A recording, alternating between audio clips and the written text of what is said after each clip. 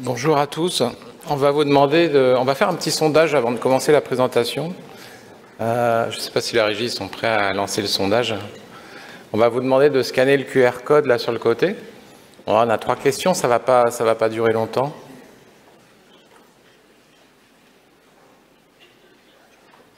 Euh, voilà. Donc on va attendre que ça se connecte un petit peu. 20, 54. Ah, puis il y en a qui répondent déjà. Euh, ah, il y a beaucoup de réponses. Alors du coup, on va remettre la question parce que euh, là, on ne voit pas la question. Quel type de test réalisez-vous systématiquement pour chaque patient? Alors, il y a plusieurs réponses possibles.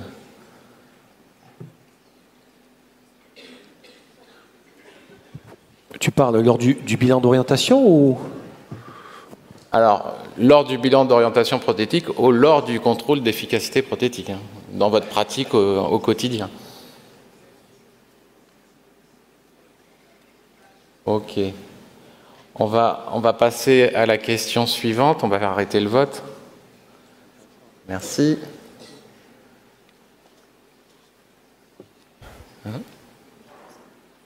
Hein? Alors, quels sont les freins pour vous à tester la localisation spatiale Et là, vous avez le droit qu'à un seul choix.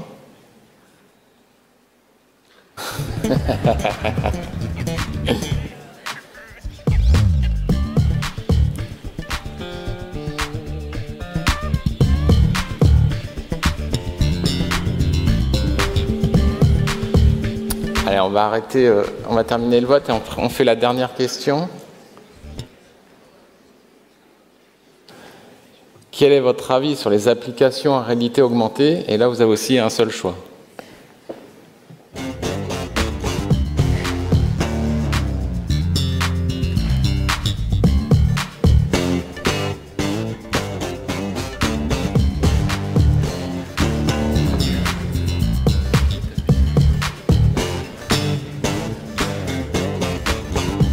Ben, on va vous remercier, on va arrêter euh, le vote. Et puis je vais laisser la parole à, Mariam qui va, qui va commencer la présentation.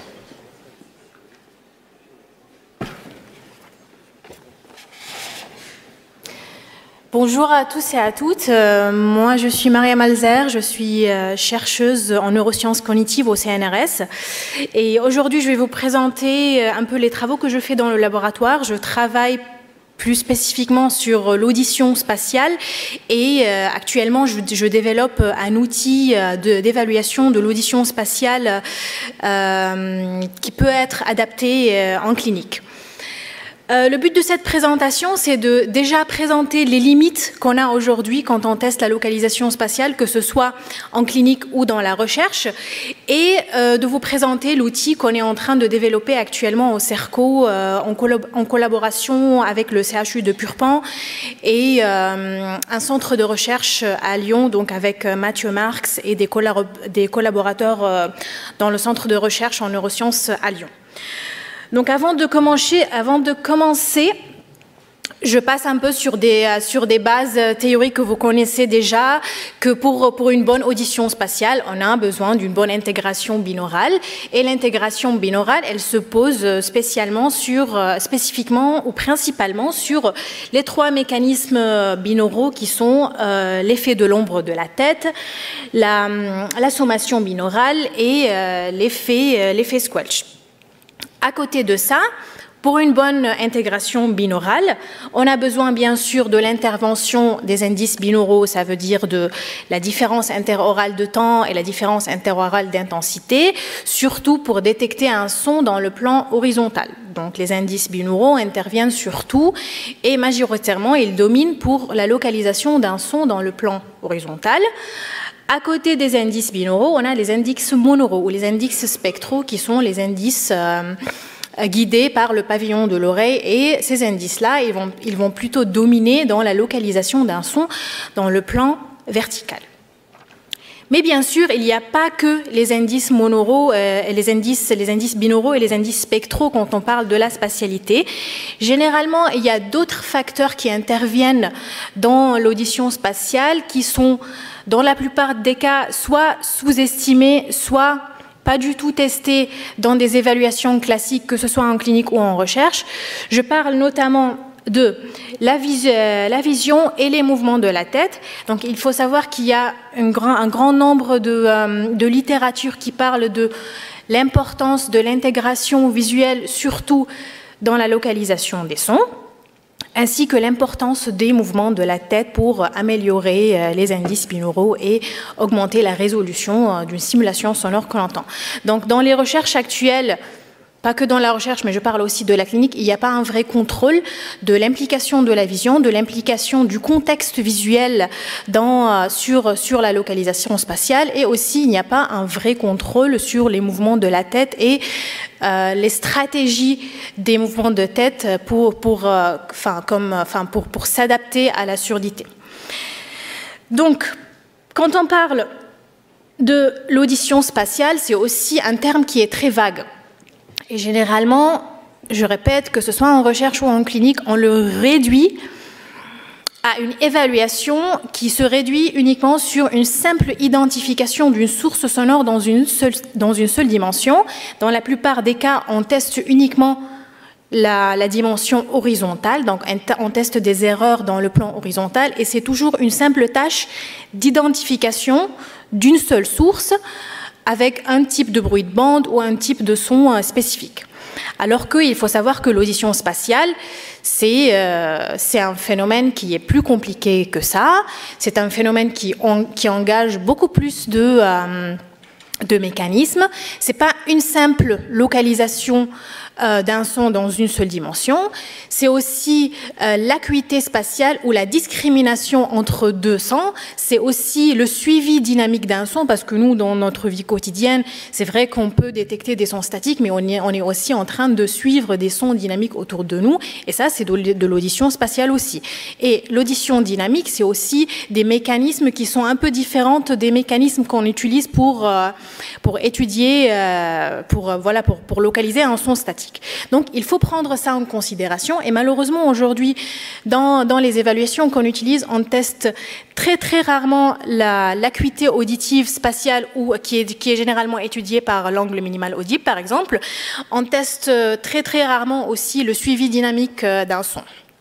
Et bien sûr, le sondage montre aussi que la plupart d'entre nous, enfin, on ne teste pas du tout la localisation spatiale si on, fait une, si on accueille un patient avec, avec euh, des, déficits euh, auditifs. Donc, pour récapituler un peu, les limites des évaluations classiques de la spatialité, et là je, parle, je répète que je ne parle pas uniquement de la clinique, mais même dans la recherche scientifique, qui est mon, mon voilà, mon, cœur de travail, même dans la recherche scientifique, vous allez voir que il y a des limites quand on évalue la spatialité. Donc, la première limite, c'est que souvent, on se limite à une seule dimension, qui est la dimension horizontale, alors que nous, dans notre vie quotidienne, quand on va localiser, on va aller localiser un son en trois dimensions. Donc, on va on va juger la verticalité, la profondeur et aussi euh, l'horizontalité euh, du, son. La deuxième limitation, c'est le contrôle de tous les facteurs euh, impliqués dans cette tâche, comme les mouvements de la tête et de la vision. Donc je répète que la tête, c'est aussi une stratégie et elle peut être une stratégie d'adaptation. Je donne un exemple, je ne le présente pas ici, mais moi, pendant mes travaux de thèse, j'ai travaillé avec un grand nombre des sujets sourds unilatéraux et on a remarqué qu'il y a des sujets, des sujets sourds qui ont des bonnes fonctions en audition spatiale malgré euh, l'asymétrie. Et on commence à se rendre compte que ces sujets-là, ils s'adaptent soit en utilisant, soit en utilisant des mouvements de tête, euh, un grand nombre de mouvements de tête par rapport à d'autres sujets, soit en se basant beaucoup sur la vision pour euh, pour compenser ce déficit. Donc le contrôle des mouvements de la tête et le contrôle de l'implication de la vision, ça peut nous renseigner sur les stratégies adaptées par les patients pour euh, compenser leur, euh, leur déficit. Et le dernier point, la spatialité auditive n'est pas limitée à une simple identification d'une source sonore, comme je viens de dire. La spatialité auditive, ça veut dire le minimal audible angle, la discrimination, le suivi dynamique d'un son.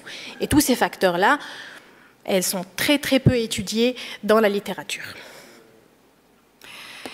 Donc, euh, dans, le, dans le centre de recherche cerveau et cognition à Toulouse et dans le centre de recherche de neurosciences à Lyon, on a, on a, à partir de 2020, on a commencé à intégrer un système de réalité virtuelle pour pouvoir tester tous ces facteurs-là. Donc, ça, c'est un exemple euh, d'une tâche de localisation spatiale qu'on fait au CERCO. Donc pour vous, pour vous, expliquer, euh, pour vous expliquer un peu rapidement l'intérêt de ce, de ce dispositif-là, c'est un dispositif qui est déjà très facile et très accessible. enfin, il suffit de mettre un casque, d'identifier sur l'ordi les, euh, les, positions que je veux tester. Donc là, je peux tester un grand nombre de positions. Il n'y a pas besoin de me limiter juste euh, d'un nombre de positions de 12 autres parleurs parce que j'ai que 12 autres parleurs. Donc là, j'ai un seul autre parleur qui est là et que je vais aller le déplacer autour de mon sujet. Donc j'ai une grande variabilité de, variété de positions que je peux identifier en virtuel et venir les, les tester euh, une par une. Donc ça, c'est un premier avantage, c'est que je peux tester un grand nombre de, euh, de positions spatiales. Le deuxième avantage, c'est que mon sujet, il, il est libre de bouger comme il veut. Donc il n'y a, pas, il a aucune restriction d'immobiliser la tête. Par, non, au contraire, nous, on a intérêt à demander à notre sujet de bouger la tête. Et l'avantage aussi de ce système, c'est que quand le sujet il bouge la tête avec le casque, on a un tracking dynamique de ses mouvements. Donc on a aussi une information sur le temps de réaction de la tête, sur le nombre de mouvements de la tête et sur l'excentricité ou l'amplitude du mouvement. Et tous ces facteurs-là, ils interviennent dans l'analyse euh, des stratégies, euh, des stratégies adaptées par nos patients. Donc c'est pour ça, c'est un, matériel qui est très intéressant et qui nous permet d'avancer vraiment et d'évoluer vraiment nos, euh, outils d'évaluation. encore un troisième avantage, c'est l'intégration audiovisuelle. Dans ce casque-là, on peut Premièrement, intégrer plusieurs scènes visuelles pour voir la variation, la, variation de la, des performances en fonction du contexte visuel. En plus de ça, on était capable l'année dernière euh, d'implémenter à l'intérieur du casque euh, un, eye tracker qui permet aussi d'analyser les mouvements des yeux, de faire aussi de la, pupillométrie. On n'a toujours pas des données sur la pupillométrie, mais c'est juste pour vous dire que le but, c'est d'optimiser ce matériel et de le, voilà, et de le, de le développer encore. Donc, on est, on est en cours de développement. Mais c'est un matériel qui est très efficace, qui est déjà validé, qui marche. Et on a réussi euh, cette année à faire un programme d'entraînement audiovisuel chez des sourds unilatéraux et on a soumis l'article euh, récemment. Euh, donc on a fait un programme euh, d'entraînement de la spatialité chez des sourds unilatéraux et on a remarqué que ces patients-là, ils améliorent pendant la séance. Ça veut dire je fais l'entraînement audiovisuel et après je fais une tâche de localisation uniquement auditive et on voit que il y a un effet de l'entraînement multisensoriel sur une tâche unisensorielle dans la même séance. Donc c'est pour dire que le but final, le but final de, ce, euh, de ce dispositif, c'est de pouvoir euh, l'implémenter en clinique. C'est un, un dispositif qui est très facile à utiliser, facile à programmer.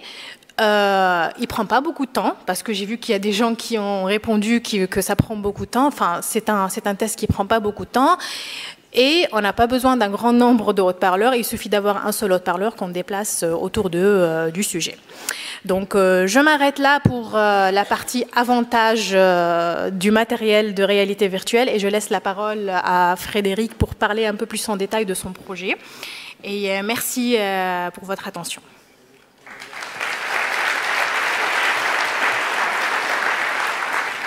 Merci Mariam moi, je vais revenir un petit peu à, notre cœur de métier.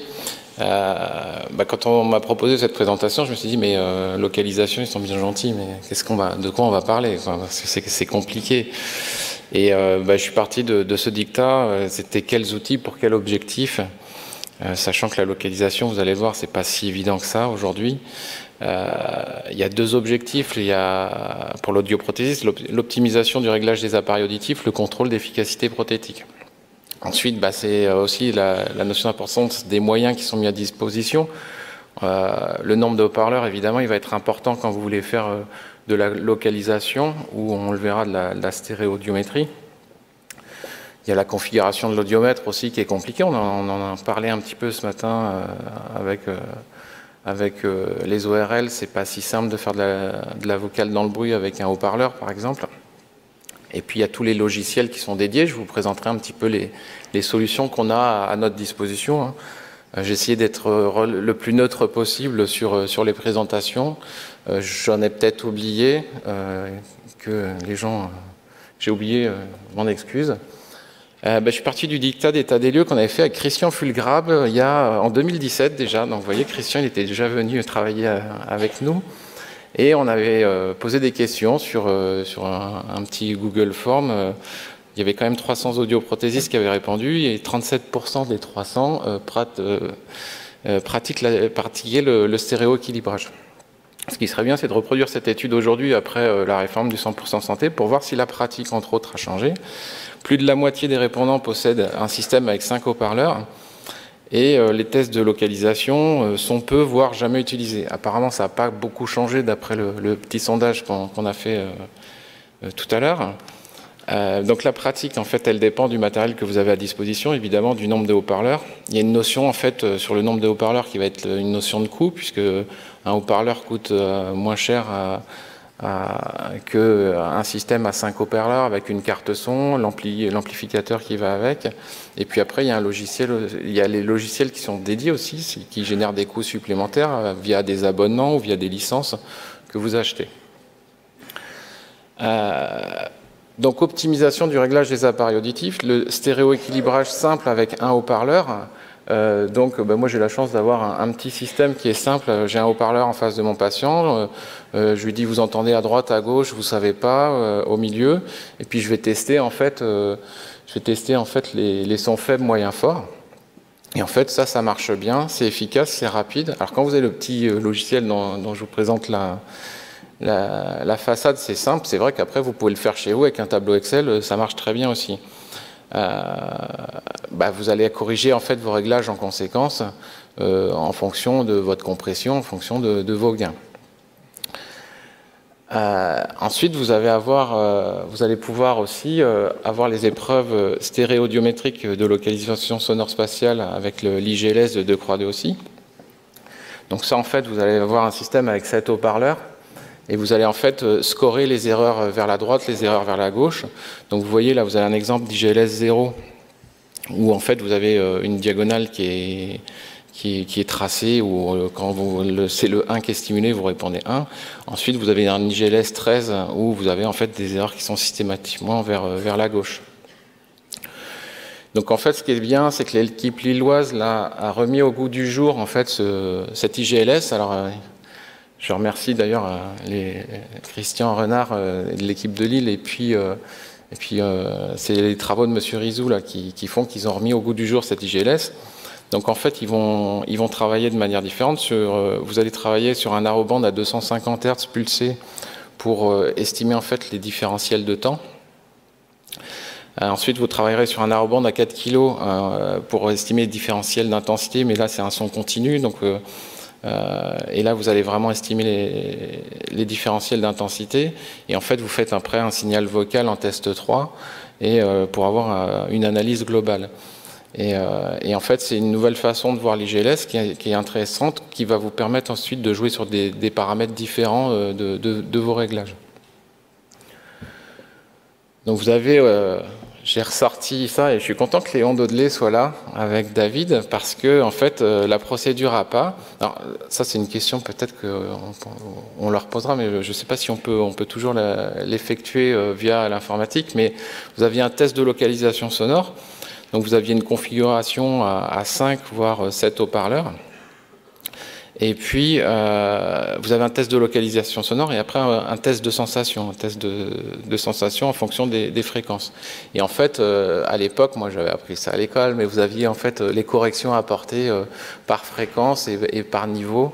Et, en fait, ça, ça marchait très bien. D'ailleurs, moi, je fais, je fais travailler mes étudiants en, en TP sur En tout cas, je leur demande de, rédiger un travail sur, cette procédure qui, moi, je pense, est une base qui est intéressante pour justement euh, optimiser le réglage des appareils auditifs et qui utilise en fait un test de, alors on va pas dire un test de localisation parce qu'on a un test de discrimination d'azimut, mais c'est très très large parce que quand vous êtes sur 7 haut-parleurs, vous êtes sur des angles à 30 degrés à peu près.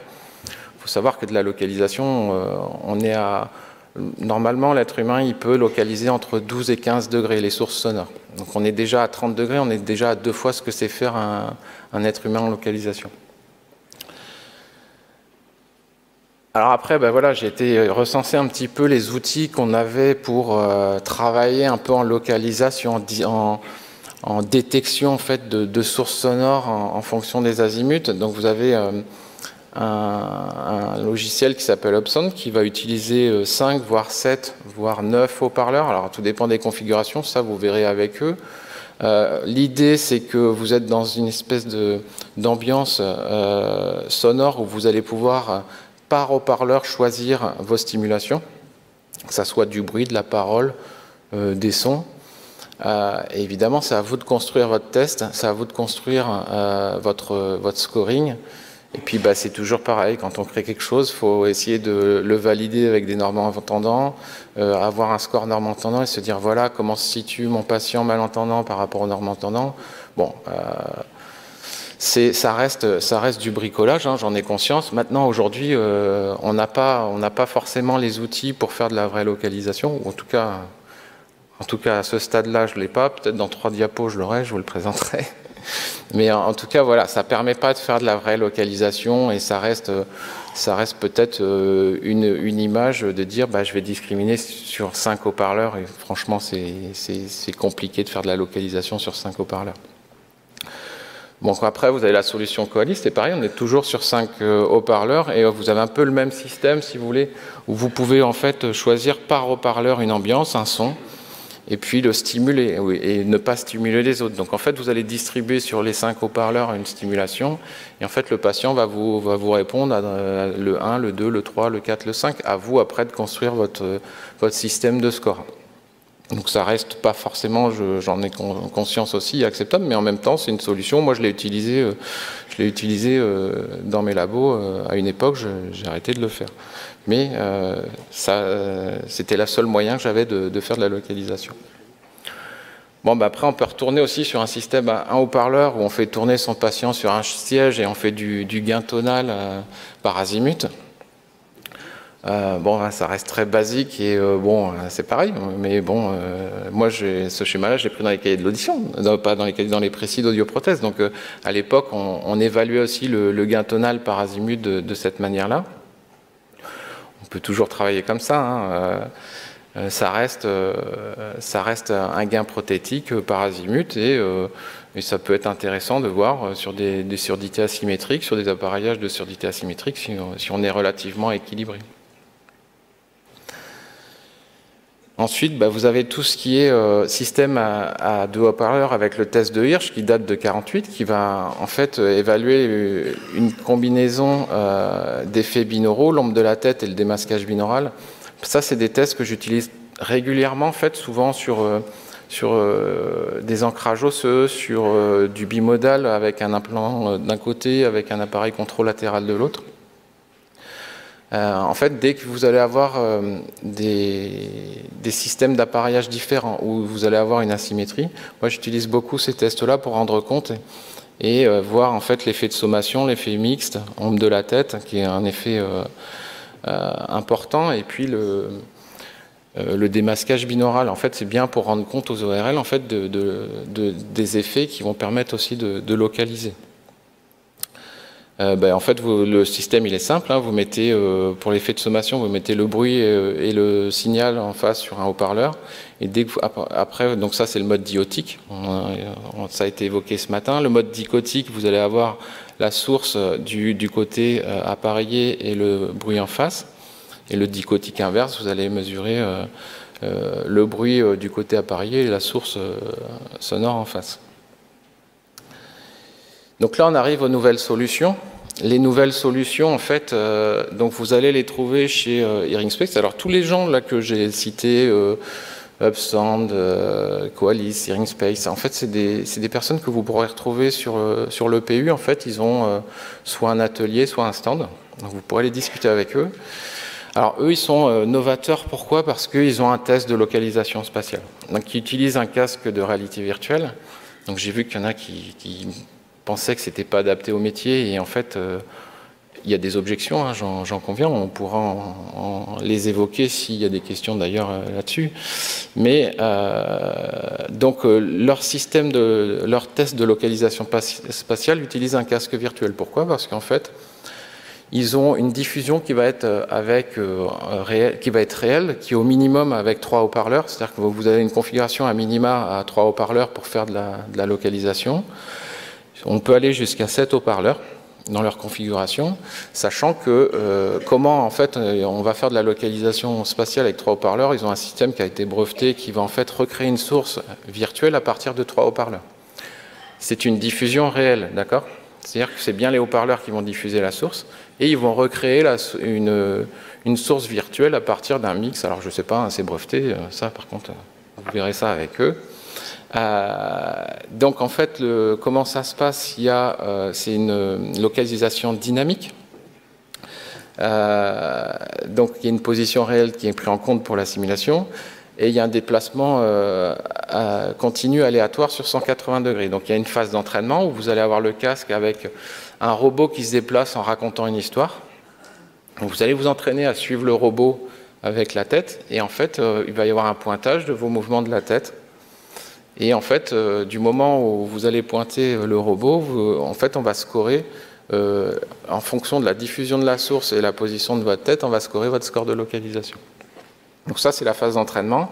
Après, vous avez la phase en fait de test qui va, qui va enlever le, robot qui se déplace, l'image en fait virtuelle qui se déplace, et ça va être vraiment le son virtuel qui va se déplacer dans la pièce. Et vous, avec votre casque, en fait, vous allez essayer de pointer le son avec euh, une manette. Vous allez essayer de pointer la source qui se déplace dans la pièce. Du coup, qu'est-ce qu'il en ressort?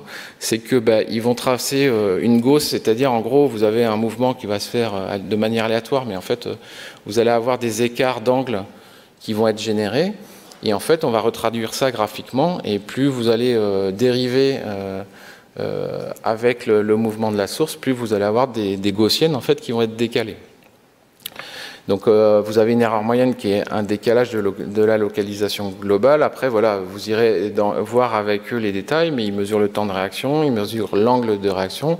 Ça, c'est le système qui renvoie, mais vous avez un vrai test de localisation spatiale qui a une précision, alors à 0,7 degrés, euh, ça n'a pas forcément de grand intérêt d'avoir 0,7 degrés de précision. Par contre, euh, bah, vous pouvez avoir euh, une, diffusion tous les, tous les 0,7 degrés. En, gros, c'est ça que ça veut dire.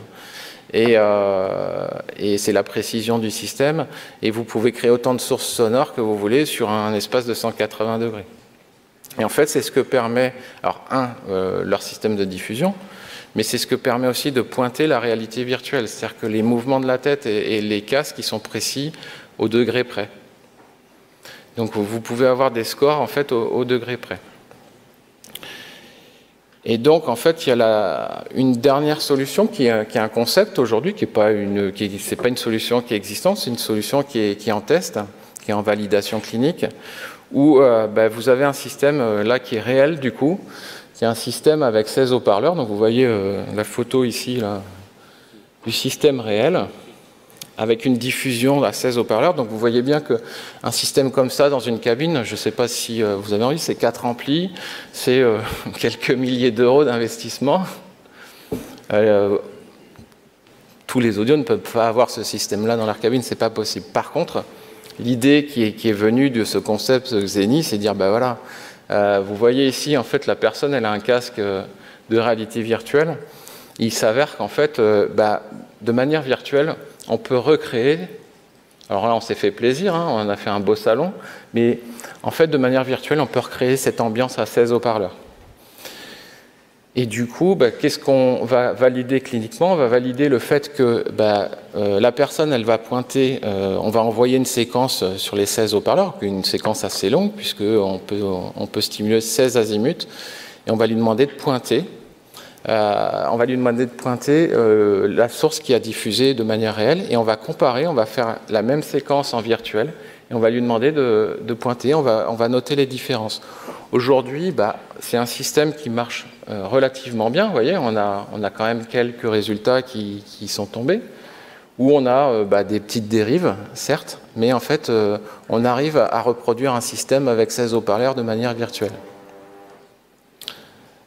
Et on va avancer. L'intérêt de tout ça, c'est quoi? C'est qu'on peut recréer en fait des ambiances virtuelles avec de la localisation. Donc en fait, ici, par exemple, vous, avez, euh, vous êtes dans un parc avec euh, des enfants et euh, vous allez avoir des sources sonores qui vont arriver sur 360 degrés. Il va falloir pointer d'où viennent les sources. Vous allez avoir un score. Alors ça, c'est une application de jeu, mais en fait, on peut recréer tous les environnements sonores que l'on veut et on peut imaginer en fait euh, une façon de voir l'audiométrie différente. Et dire, voilà, on peut l'amener par le jeu sur la localisation, mais on peut l'amener sur des, énigmes ou des escape games, sur de la vocale dans le bruit, par exemple, dans, une, dans un bar ou dans, dans un concert ou euh, dans une boîte de nuit. Enfin, voilà. Il euh, faut l'adapter au public. Évidemment que la boîte de nuit, c'est moins adapté à nos patients. mais ça peut être un loto, une tombola. L'idée, c'est que, bah, ce, produit est en développement. Il y a euh, une, euh, phase de, développement, mais il y aura une phase en fait expérimentale, il y aura une phase euh, de commercialisation qui va être en fait une version autonome pour qu'il y ait un opérateur qui lance les séquences. Et il y a enfin une version pilotée pardon, où il y aura un opérateur, comme quand vous faites votre audiométrie, c'est vous qui lancez la séquence.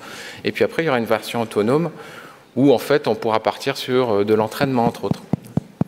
Voilà. Et du coup, je vous remercie de votre attention.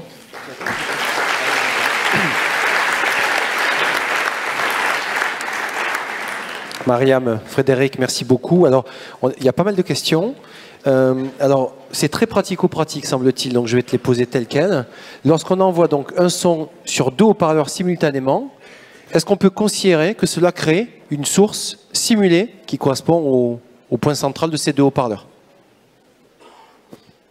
Alors ça dépend de l'azimut des haut-parleurs. Euh, s'ils sont, euh, s'ils sont à 90 degrés et que vous envoyez le même son des deux côtés, ouais, vous allez, euh, vous allez avoir une sensation d'avoir un son au milieu, mais c'est pas si évident que ça. Il faut vraiment que vous soyez bien au milieu, que ça soit bien calibré. Mais normalement, oui, il n'y aurait pas de. Non, normal, normalement, rien ne remplace nos parleurs situés en face plutôt que quelque chose qui est simulé.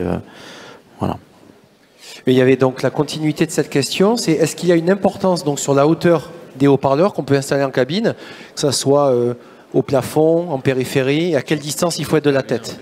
La hauteur La hauteur du haut-parleur. Est-ce que ça joue? Ah ben oui, c'est important. Euh, en fait, souvent, on, va tester, nous, la localisation à hauteur des oreilles. Hein. Euh, dès qu'on va passer en hauteur, on passe vers un autre système dont, l'a expliqué Maria. On, on utilise l'HRTF. Donc euh, on n'est plus du tout dans, le, dans les, différences d'intensité, différences de, de, temps. On est euh, sur de l'HRTF avec de la filtration qui sont liées à la tête, les épaules. Donc oui, la, hauteur des haut-parleurs est très importante. Du moment où vous avez des haut-parleurs au plafond, euh, c'est compliqué de faire de la localisation. C'est en tout cas sur l'azimut.